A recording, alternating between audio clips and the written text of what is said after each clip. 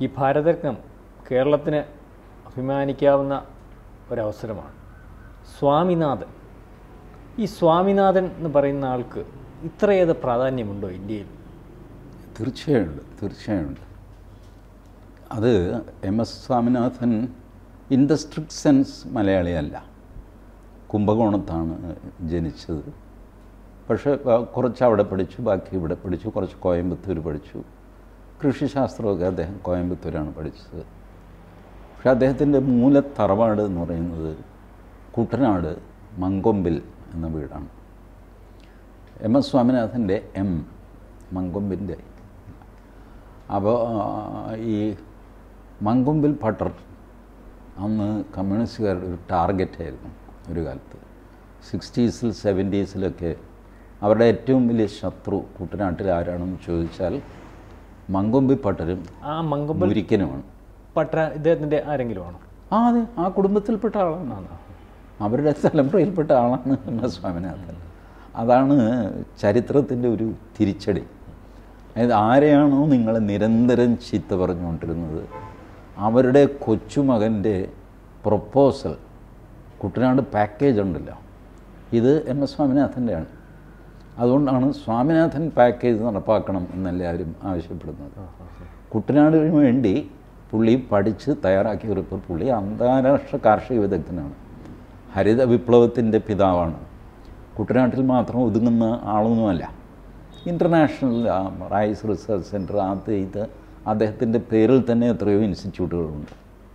ഇതെല്ലാം കൈകാര്യം ചെയ്യുമ്പോഴും തന്റെ ദേശമായ കുട്ടനാടിനൊരു സ്നേഹം ആ മനുഷ്യൻ കാണിച്ചു. കുട്ടനാട് പ്രത്യേകം പഠിച്ചിട്ട് കുട്ടനാടിന് വേണ്ടി ഒരു പാക്കേജ് ഉണ്ടാക്കിയിട്ട് ആധുനിക രീതിയിൽ കുട്ടനാടിനെ എങ്ങനെ ഡെവലപ്പ് ചെയ്യാം. പാക്കേജ് ആ പാക്കേജ് നടപ്പാക്കി കിട്ടണമെന്ന് പറഞ്ഞിട്ട് ബഹളം വയ്ക്കുന്നത് സി പി എം ആണ്. അവർക്ക് പോലും അറിയില്ല. പണ്ട് നമ്മൾ ചീത്ത പറഞ്ഞ മനുഷ്യന്റെ കൊച്ചുമകനാണ് ഇപ്പോൾ നമ്മൾ സിന്ദാബാദ് വിളിക്കുന്നത്. അപ്പോൾ വേണമെങ്കിൽ അവർക്ക് പറയാം "ആ, അപ്പൂപ്പന് ചീത്തയായിരുന്നു പക്ഷേ ഇയാൾ നല്ലതാണ്. അങ്ങനെയല്ല. അപ്പൂപ്പനും നല്ലവനായിരുന്നു. ഇപ്പോൾ അവരുടെ കാലത്ത് സംഭവിച്ചെന്താണെന്ന് വെച്ച് കഴിഞ്ഞാൽ നമ്മളെ നാട്ടിൽ പൈസ കുറവാണ്. അരി നെല്ല് തേങ്ങയൊക്കെ ഉണ്ട്. പൈസ ഇല്ല.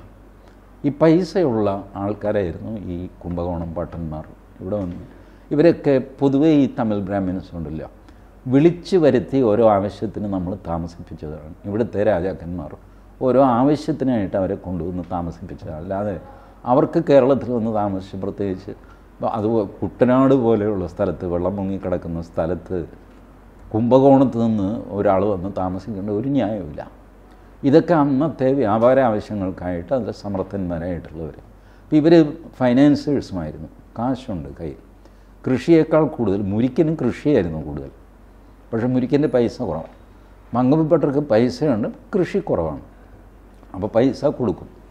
പലിശയ്ക്ക്. അപ്പോൾ ആ പലിശ കിട്ടാതെ വരുമ്പോൾ ഇതൊക്കെ ജപ്തിയിലും അവിടെ ഇവിടെയൊക്കെ ചെന്ന് ചാടുമല്ല അപ്പോൾ അങ്ങനെ ജപ്തി ചെയ്ത കുറേ ഭൂമിയും ഇവർക്ക് മങ്കമ്പിപ്പട്ടന്മാർക്ക് കിട്ടി. അതിന്റെ പേരിൽ അവർ കേരളത്തിലെ ഒരു പൊതു തത്വമുണ്ടല്ലോ. ഈ കാശ് തരുന്നവൻ അവൻ എന്തോ കുഴപ്പക്കാരനാണ്. കാശുള്ളവൻ അവൻ എന്തോ കള്ളനാണ്. അവൻ നമുക്ക് ചുമ്മാ തരണം. അവന് നമുക്ക് തന്ന കാശ് തിരിച്ചടയ്ക്കാൻ നമ്മൾ ബാധ്യസ്ഥരല്ല. തിരിച്ച് ചോദിക്കുകയാണെങ്കിൽ അവൻ ബൂർഷ്വയാണ്. ഇങ്ങനെയൊക്കെയുള്ള ഇക്വേഷനിലാണ് ഈ മങ്കൊമ്പി ഭട്ടരെ ഇവർ ചീത്ത പറഞ്ഞുകൊണ്ടിരുന്നത്. അല്ലാതെ അയാൾ ദുഷ്ടനായതുകൊണ്ടല്ല. വാസ്തവത്തിൽ മനോരമ പത്രം പൂട്ടിക്കിട്ട് സി പി എമ്മായിട്ട് പ്രശ്നമൊക്കെ ആയി. അവർ തെണ്ടി പണ്ടാടങ്ങുന്നുള്ള സ്ഥിതി വന്നപ്പോൾ മനോരമയെ പൈസ കൊടുത്ത് സഹായിച്ചത് മങ്കൊമ്പിലെ കൃഷ്ണയ്യരെന്ന പട്ടരാണ് അത്രയ്ക്ക് പൈസ ഉള്ള ആൾക്കാരായിരുന്നു. ആയിരുന്നു. ഇത് കെ മാത്യുവിന്റെ എട്ടാമത്തെ മോതിരം എന്നുള്ള ആത്മകഥയുണ്ട്. കെ മാത്യു ഈ സംഭവം എഴുതുന്നുണ്ട്. ഞങ്ങളിങ്ങനെ കുത്തുവാള എടുത്തേനെ മാങ്കൊമ്പി പട്ടരില്ലെങ്കിൽ അങ്ങേര് ആ ആപത്ഘട്ടത്തിൽ പൈസ നിന്ന് സഹായിച്ചുകൊണ്ടാണ് മനോരമ വീണ്ടും ഫൈറ്റ് ചെയ്ത് തിരിച്ചു വന്നതെന്ന് നന്ദിപൂർവം കെ മാത്യു എഴുതുന്നുണ്ട്. ഈ കുമരകൻ ശങ്കുണ്ണി മേനോൻ സി പി ഐയുടെ നേതാവൊക്കെ ആയിരുന്നു വക്കീലാണ്. മരിച്ചുപോയി. അദ്ദേഹത്തിനൊരു ആത്മകഥയുണ്ട്. ഈ ആത്മകഥയിൽ കുമരകൻ ശങ്കുണ്ണി മേനോൻ ഞങ്ങൾ മുരിക്കനുമായിട്ട് തൊഴിൽ പ്രശ്നമാണ്. തൊഴിലാളികൾക്ക് അവകാശം കിട്ടുന്നില്ല അത് ഇതെന്നും എപ്പോഴും പ്രശ്നങ്ങളാണ് കുട്ടനാട്ടിൽ മുരിക്കനുമായിട്ട് സംസാരിച്ചൊക്കെ കഴിഞ്ഞ് ഇറങ്ങാൻ തുടങ്ങിയപ്പോൾ പതിവില്ലാതെ മുരിക്കന്റെ ഭാര്യ ചട്ടയും ഒരു സ്ത്രീ വക്കീൽ സാർ ഒന്ന് ഇപ്പുറത്ത് വരാമോ? അപ്പോൾ ശങ്കുണി മേനോൻ പുറകിൽ പോയി. പെണ്ണുങ്ങളൊക്കെ എപ്പോഴും പുറകിലാണല്ലോ വീടിന്റെ. അവർ കൈ ഉടഞ്ഞ് മുണ്ടിലങ്ങ് തുടച്ചിട്ട് സംസാരിക്കാൻ തുടങ്ങി. അവർ പറഞ്ഞു എന്നെ കല്യാണം കഴിച്ച് ഈ നാട്ടിൽ കൊണ്ടുവന്നിട്ട് നാൽപ്പത് വർഷമായി. ഇന്ന് വരെ ഞാൻ കൂട്ടുകാരന്റെ പുറം ലോകം കണ്ടിട്ടില്ല. ആഴ്ചയിലൊരിക്കൽ വള്ളത്തിൽ കയറി അക്കരയിൽ പള്ളിയിൽ ഞായറാഴ്ച കുർബാനയ്ക്ക് പോകും തിരിച്ചു വരും. കുറഞ്ഞത് അറുപത് പേർക്ക് ഈ വീട്ടിൽ എന്നും ശാപ്പാട് ഉണ്ടാക്കുന്നുണ്ട്. ഇതുണ്ടാക്കി ഉണ്ടാക്കി ഇത് പണിക്കാരില്ല അവർക്ക് ഉച്ചയ്ക്ക് ചോറ് കൊടുക്കണം. ഇതിന് ഒന്നോ രണ്ടോ പേര് സഹായിക്കാനൊക്കെ ഉണ്ടാവും. ബാക്കിയൊക്കെ ഞാനാണ് ചെയ്യുന്നത്. ഇത് ചെയ്ത് എന്റെ കൈ കണ്ടോ? ഞാൻ കുട്ടനാടിന്റെ പുറം ലോകം കണ്ടിട്ടില്ല.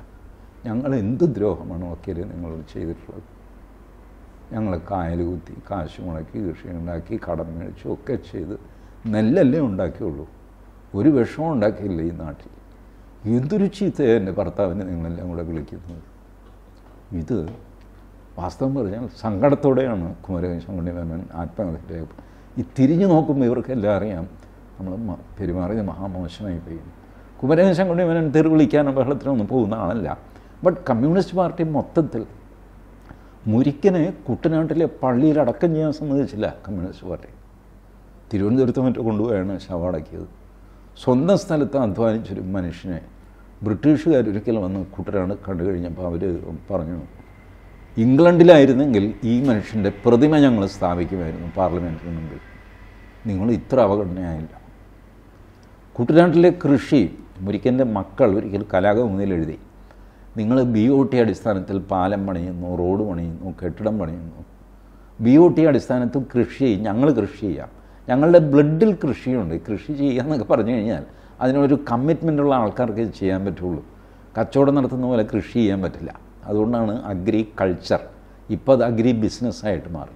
ഈ അഗ്രി കൾച്ചർ നടത്തിക്കൊണ്ടിരുന്ന ആളാണ് ആൾക്കാരാണ് ഈ മുരിക്കനും മങ്കൊമ്പപ്പെട്ടരുമല്ല അവരാ സ്വഭാവം കളഞ്ഞില്ല ആ കൾച്ചർ കളഞ്ഞില്ല. അവർ കുട്ടനാടിനെ മറന്നില്ല. ഈ എം എസ് സ്വാമിനാഥൻ പാക്കേജ് ഇപ്പോഴും കുട്ടനാട്ടിൽ മുഴുവൻ നടപ്പിലാക്കിയിട്ടില്ല. ഇപ്പോഴും ഇടയ്ക്കിടയ്ക്ക് അതേ ചൊല്ലി സമരം നടക്കും.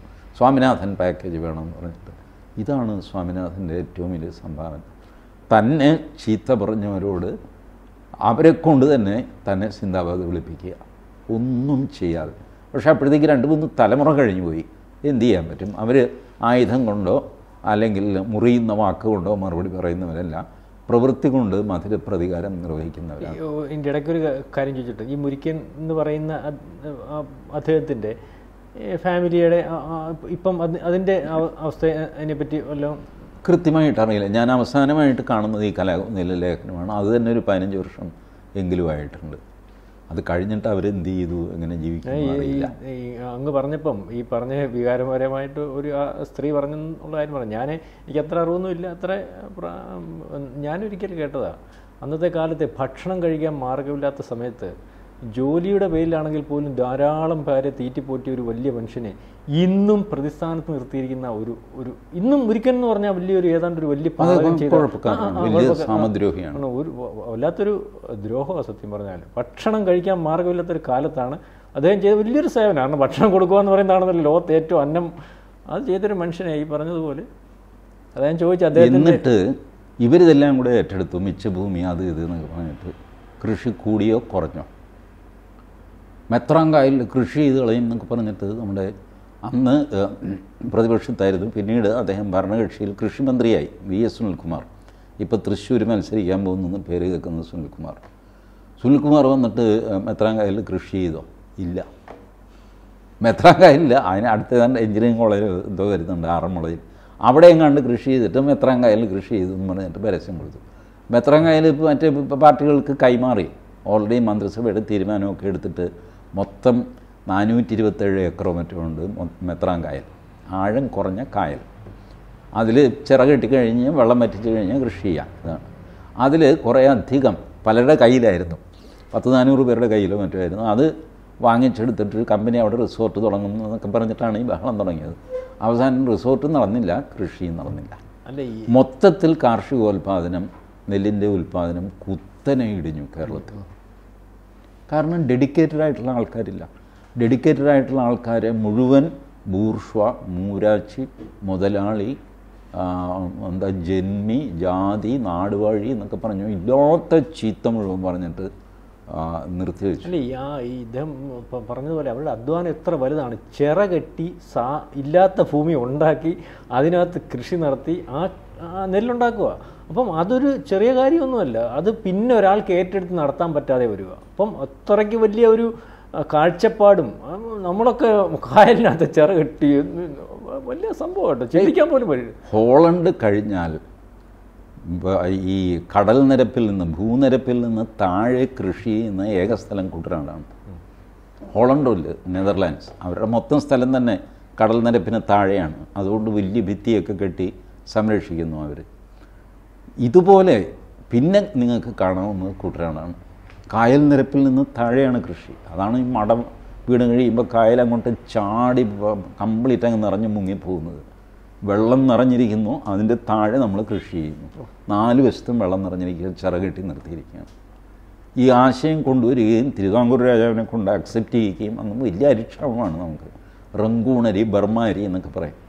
അത്രയധികം നമ്മൾ കഷ്ടപ്പെട്ടിരുന്നു.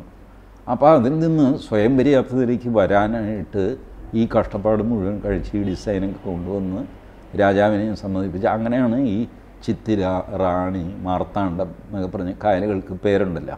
ഇതൊക്കെ ഈ രാജകുടുംബത്തിലെ പേരുകളാണ്. അപ്പോൾ അവർ ഈ ഇതിനോട് സഹകരിച്ചു എല്ലാ രീതിയിലും. അങ്ങനെ കേരളം മെല്ലെ പട്ടിണിയിൽ നിന്ന് വറുതിയിൽ നിന്ന് മാറി മാറി വന്നപ്പോഴാണ് ഇല്ലാത്ത വിപ്ലവമൊക്കെ പറഞ്ഞിട്ട് ഇതെല്ലാം കൂടെ കുളമാക്കിയിട്ട് നാശമായി. ഇപ്പം നമുക്ക് നമുക്ക് കഴിക്കാനുള്ളതിന്റെ മൂന്ന് ശതമാനം നെല്ലെങ്കിലും നമ്മൾ ഉണ്ടാക്കുന്നുണ്ട്. ഇല്ല. എല്ലാം വല്ലൊരു ആന്ധ്രയിലോ പഞ്ചാബിലോ ഒക്കെ ഉണ്ടാക്കിയിട്ട് മാറണം. എന്നിട്ട് ഇവിടെ അരിയില്ല അരിയില്ല കേന്ദ്രം തന്നില്ല എന്നൊക്കെ പറഞ്ഞ് വഴക്കും. എന്തിനാണ് ഈ വല്ലവനെ ഡിപ്പെൻഡ് ചെയ്യാൻ പോകുന്നത്? എത്ര സുന്ദരമായിരുന്നു നമ്മുടെ ജീവിതം എന്ന് ആലോചിച്ച് നോക്കിയത് ഓരോരുത്തർക്കും അവരുടെ ഒരു കിണറോ കുളമോ ഉണ്ട്. വാട്ടർ അതോറിറ്റി ആശ്രയിച്ചല്ല മനുഷ്യൻ ജീവിച്ചത്. ഒരു പശുവുണ്ട് അതിന്റെ പാൽ കറന്നിട്ട് അത്യാവശ്യം നമ്മളും കുടിക്കും കുറച്ച് കടയിൽ വിൽക്കുകയും ചെയ്യും. മിൽമയുടെ ആവശ്യമില്ല. മനുഷ്യൻ സ്വയം പര്യാപ്തം ഇതാണ് ഗാന്ധിജി പറഞ്ഞത്. നിങ്ങൾ സ്വയം പര്യാപ്തമായിട്ട് ജീവിക്കുക. ഈ സർക്കാരിന്റെ സൗകര്യത്തിന് പോകരുത്. അത് കിട്ടിയാൽ കിട്ടി കിട്ടിയില്ല കിട്ടിയില്ല. ഇപ്പം എന്തായി? സർക്കാരിന്റെ ആയിരത്തി അറുന്നൂറ് രൂപ കിട്ടിയില്ലെങ്കിൽ അമ്മച്ചിമാർ പട്ടിണിയാകുന്ന സ്ഥിതിയായി. അവർ റോഡിൽ ഇറങ്ങിയിരിക്കാൻ തുടങ്ങി. ഇതൊന്നും അക്കാലത്തുണ്ടായിരുന്നില്ല കാരണം നമ്മുടെ ഒരു അമ്മച്ചിയെ നമ്മൾ റോഡിൽ ഇറക്കി വിടില്ല. പെൻഷനൊന്നുമില്ല. കിടന്നോട്ട്. എന്തെങ്കിലും നമ്മുടെ ഉള്ള പങ്ക് കൊടുത്തിട്ട് ഇങ്ങനെ കുറച്ച് കുഴമ്പ് മേടിച്ച് കൊടുത്ത് കുറച്ച് കൊടുത്തില്ല. ഇങ്ങനെയൊക്കെ ചെയ്ത് ഇങ്ങനെ അമ്മച്ചിമാരെ കൊണ്ടുപോകുമായിരുന്നു. ഇപ്പോൾ അമ്മച്ചിമാരെ നോക്കാൻ ആളില്ല. വൃദ്ധന്മാരെ നോക്കാൻ ആളില്ല. കൊണ്ടുപോയി വല്ല വൃദ്ധസാധനത്തിലും തള്ളും. എത്ര കാശുണ്ടെങ്കിൽ വലിയ പോഷായിട്ട് നടക്കാം. അല്ലാത്ത വൃദ്ധന്മാരെ എന്തു ചെയ്യും? അവിടെ ഇവിടെ ആശുപത്രിയിൽ അമ്പലമുറ്റത്ത് കൊണ്ടുപോയി തള്ളുക. അമ്മച്ചിമാരെയും വൃദ്ധന്മാരെയൊക്കെ. അല്ല ഈ ഈ- രാജ്യഭരണം മോശമാണെന്നൊക്കെ പറഞ്ഞ് അല്ലെങ്കിൽ ജനാധിപത്യ ഭരണം ഭരണം പാവത്തങ്ങൾക്ക് വേണ്ടിയുള്ള സംവിധാനമാണ് കമ്മ്യൂണിസ്റ്റ് പ്രസ്ഥാനം എന്നൊക്കെ പറഞ്ഞിട്ട് ഒരു കെട്ട കാലത്ത് ആ രാജ്യത്തെയും ദേശത്തെയും സംരക്ഷിക്കാൻ ഇപ്പോൾ ഇപ്പോൾ ഈ പറയുന്ന ശരിയായിട്ടുള്ള കാര്യമാണെങ്കിൽ ആ രാജ്യത്തെയും ദേശത്തെയും സംരക്ഷിക്കാൻ നിൽക്കുന്നവനെ രാജ്യദ്രോഹിയായിട്ട് ആ കാലവും പിന്നെ വരുന്ന തലമുറയും അത് പറഞ്ഞ് മനസ്സിലാക്കി പോകുന്ന ഒരവസ്ഥ. അതൊരു വല്ലാത്ത മോശമായ അവസ്ഥ കാരണം കമ്മ്യൂണിസ്റ്റ് മാർക്സിസ്റ്റ് പാർട്ടി എന്ന് പറയുന്ന പാവത്തങ്ങൾക്കും അല്ലെങ്കിൽ കൃഷി ചെയ്യാനും ഒക്കെ ഉള്ള അവകാശം. ഇത് ഈ മുരുക്കന്റെ കഥ കേൾക്കുമ്പം ഇങ്ങനെ ആയിരുന്നെങ്കിൽ അങ്ങേരോട് ചെയ്ത പാതകം എത്ര എത്ര പ്രായച്ചിത്തം ചെയ്താൽ തീരും. ആ സമയത്താണ് ഇപ്പോൾ ഈ പറഞ്ഞതുപോലെ സ്വാമിനാഥൻ എന്ന് പറയുന്ന അദ്ദേഹത്തിന്റെ എന്റെ അറിവ് കേട്ടിട്ടുണ്ട്. മക്കൾ പോലും വലിയ ഇതുപോലെ വലിയ പദവികൾ വന്നുകൊണ്ടിരിക്കുക രണ്ടുപേരും അത് അപ്പം ഇവർക്കൊക്കെ ഒരു അംഗീകാരം ഇത് ഒര കേൾക്കുമ്പോൾ ഒരു ഭാരതരത്ന പോരാ. അല്ല ശരിയല്ല? സങ്ക- സങ്കടമാണ് ഇങ്ങനെ സൈലന്റ് ആയിട്ട് സമൂഹത്തിൽ മാറ്റം വരുത്താൻ ഈ ഗ്രീൻ റെവല്യൂഷൻ എന്നൊക്കെ പറയും. ഗ്രീൻ റെവല്യൂഷന് അതിന്റെ കുറേ ദോഷങ്ങളും ഉണ്ട് കേട്ടോ. സ്വാമിനാഥന്റെ പ്രിയോറിറ്റി എന്ന് പറഞ്ഞാൽ ആദ്യം ഭക്ഷ്യ സ്വയം പര്യാപ്തത ഉണ്ടാക്കുക. അതിന്റെ ഇടയ്ക്ക് നമുക്ക് ചില്ലറ പരിസ്ഥിതി നാശം വരും. കാരണം ഈ നമ്മൾ ഉപയോഗിക്കുന്ന വളം കീടനാശിനി അത് ഇതൊക്കെ കൊണ്ട് കുറച്ച് പരിസ്ഥിതി പ്രശ്നങ്ങൾ വരും. പക്ഷേ എന്നാലും ആദ്യം വയറ് നിറയണ്ടേ? പിന്നെയാണല്ലോ പരിസ്ഥിതി. അപ്പോൾ ആ രീതിയിലാണ് ഇപ്പോൾ ഇപ്പോൾ ഗ്രീൻ റെവല്യൂഷൻ പാടില്ലായിരുന്നു എന്നൊക്കെ പറഞ്ഞ് തർക്കിക്കുന്നവരൊക്കെ ഉണ്ട്. ഈ പട്ടിണി കിടക്കുമ്പോഴുള്ള വെപ്രാളം ഉണ്ടല്ലോ. ആ സമയത്ത് നമ്മൾ പല പണിയൊക്കെ നോക്കും. ഒരു അമ്പത് കൊല്ലം കഴിഞ്ഞ് നമ്മുടെ വയറൊക്കെ നിറഞ്ഞു സുഭിക്ഷമായി ഇന്ത്യയ്ക്ക് വേണ്ടതിനേക്കാൾ കൂടുതൽ ഭക്ഷ്യധാന്യമായി എക്സ്പോർട്ട് ചെയ്യാനൊക്കെ തുടങ്ങി. അപ്പോൾ നമ്മൾ അന്ന് കഷ്ടപ്പെട്ട ആളിന്റെ തെറ്റുകൾ കുറവുകൾ ചൂണ്ടിക്കാണിക്കുകയാണ്. അന്ന് അങ്ങനെ ചെയ്യാൻ പാടില്ലായിരുന്നു ഇങ്ങനെ ചെയ്യണമായിരുന്നു. അത് നീ ജീവിച്ചിരിക്കുന്നത് ആ മനുഷ്യൻ അല്പസ്വല്പം തെറ്റോടുകൂടിയാണെങ്കിലും അന്ന് ഈ കൃഷി നടത്തി ഉൽപ്പാദനം വർദ്ധിപ്പിച്ചുകൊണ്ടാണ് ഇന്ന് നമ്മൾ ജീവനോടെ ഇരിക്കുന്നത് അവരെ വിമർശിക്കാൻ. അപ്പോൾ അന്ന് എന്തെങ്കിലുമൊക്കെ സംഭവിച്ചു കാണും ചില്ലറ പരിസ്ഥിതി നാശങ്ങളൊക്കെ വന്നു കാണും. ഗ്രീൻ റെവല്യൂഷൻ മുഴുവൻ സക്സസ് ആയില്ല? അങ്ങനെയുള്ള വിമർശനങ്ങളൊക്കെ ഉണ്ട്. പക്ഷേ ഈ വിമർശിക്കുന്നവർ പോലും അവരുടെ നാക്ക് പോകുന്നത് സ്വാമിനാഥന്റെയൊക്കെ സേവനം കൊണ്ടാണ്. ഇവന്റെ ജീവൻ കിടക്കുന്നത് ബേസിക്കലി അങ്ങനെ എടുത്ത എഫേർട്ട് കൊണ്ടാണ്. ആ എഫേർട്ടിലെ പോരായ്മ ഇപ്പോൾ ചൂണ്ടിക്കാണിക്കുന്നത് ഓക്കെ പോരായ്മയെങ്കിൽ പോരായ്മ. പക്ഷേ ആ എഫേർട്ട് എടുത്തിരുന്നു എന്നുള്ളത് സത്യമാണ്. അതുകൊണ്ട് ഭാരതരത്നം തീർച്ചയായും അദ്ദേഹം അർഹിക്കുന്നു. അർഹിക്കുന്നു. അർഹിക്കുന്നത് ഇപ്പോൾ ഈ അദ്ദേഹം ഇപ്പം കുട്ടനാട്ടിലുണ്ടോ? അദ്ദേഹത്തിന്റെ ഫാമിലി കുട്ടനാട്ടിലുണ്ടോ? എന്നൊന്നും എന്നൊന്നും നമുക്ക് ഇല്ല, ഇല്ല, എന്നൊന്നും നമുക്കറിയില്ല. പക്ഷേ കേരളത്തിന് അഭിമാനിക്കാവുന്ന ഒരു പേര് ആദ്യമായി അദ്ദേഹത്തിലൂടെ വന്നതിൽ നമുക്ക് അഭിമാനം കൊള്ളാം. അതിന് ഈ അദ്ദേഹത്തിന്റെ ഈ കഥ കേട്ടപ്പോൾ അതിന് വളരെ അർഹതപ്പെട്ട എന്തെങ്കിലും തെറ്റ് നമ്മുടെ ജനത നമ്മളല്ല നമ്മുടെ കേരള ജനത പുള്ളിയോട് ചെയ്തിട്ടുണ്ടെങ്കിൽ നമുക്ക് അവർക്ക് വേണ്ടി അദ്ദേഹത്തിനോട് ഒരു മാപ്പി ചോദിച്ചാലും തെറ്റൊന്നുമില്ലെന്നാണ് എന്റെ അഭിപ്രായം. കൂടുതൽ വാർത്തകളും വിശേഷങ്ങളും നിങ്ങളിലേക്ക് എത്താൻ A B C Malayalam subscribe ചെയ്യുക ബെൽബട്ടനും അമർത്തുക.